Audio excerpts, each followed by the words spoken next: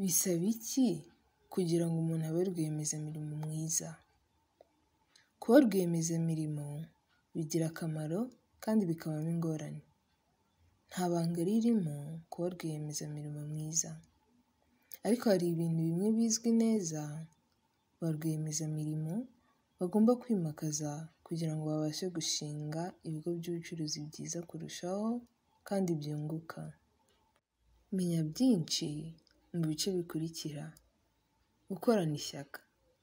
Nubwo kugira abantu bagushyigikira ari ngombwa, ba rwiyemezamirimo bakora neza kenshi na kenshi bakorana ishyaka kandi ntibakenera guterwa akanyabugabo kugira ngo bafate intera yo gushinga ibigo by'ubucuruzi bikora neza. Batangira umunsi bafite ibikorwa bagomba gukora n'intego bagomba kugeraho, bagahora bibuka intego nyamukuru y'ubucuruzi bwabo. Bafata ingorane bagenda bahura na zo nk'amahirwe atuma biga ibintu bishya bakanatera imbere, aho kugira ngo bibaviremo impamvu yo gucika intege no kureka ibikorwa byabo. Ubaka imbaraga zawe muri uru rwego ushyiraho buri gihe ibikorwa n'intego zawe n'iz'itsinda ryawe, buri munsi cyangwa buri cyumweru. Tekereza ku byerekeranye n'uburyo wazamura ubucuruzi bwawe ku yindi ntera yisumbuyeho, aho gutegereza ko amahirwe yigaragaza ubwayo. Fata ingorane nk'amahirwe yo gutanga ibicuruzwa cyangwa serivisi nziza kurushaho, kandi ugerageze kunezeza abaguzi bawe, ubahe ibyo bakeneye. Imyitwarire mu kazi ihamye. Ba rwiyemezamirimo bakomeye usanga bafite imyitwarire mu kazi ihamye.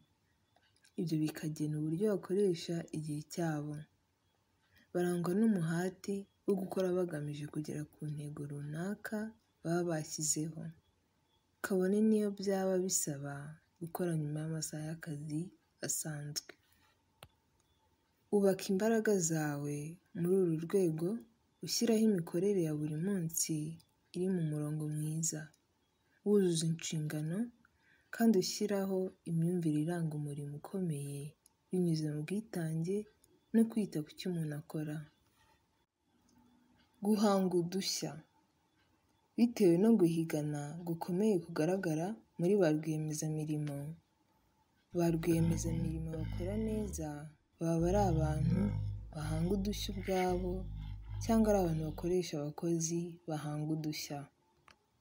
Kugira ngo ba rwiyemezamirimo babashe gushyiraho ibitekerezo byihariye no kubona ibisubizo bijyanye n'ibyo abaguzi baba bakeneye, bisaba gutekereza ku buryo bwihariye mu bintu byose, uhereye ku iyamamazabikorwa ukagera ku itangwa rya serivisi no ku ikorwa ry'ibicuruzwa. Ubaka imbaraga zawe muri uru rwego wimakaza imyumvire yo kugira amatsiko mu buzima bwawe bwa buri munsi kandi ukorana n'abantu bashobora kuba bishimiye urwego rw'imirimo ukoramo. Gukorana n'abandi bishobora kugufasha kunguka ibitekerezo bishya no kumenya neza uko abandi babona ibisanzweho. Kugira ubuhanga bwinshi mu bijyanye no kuyobora.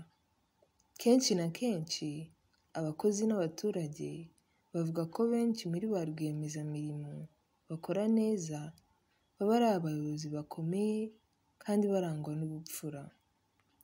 Ubushobozi bwo kuyobora bufasha ba rwiyemezamirimo guteza imbere impano mu matsinda bakoramo, bikongera imikorere myiza, bikanatuma hakorwa ibicuruzwa, hakanatangwa serivisi zifite ireme.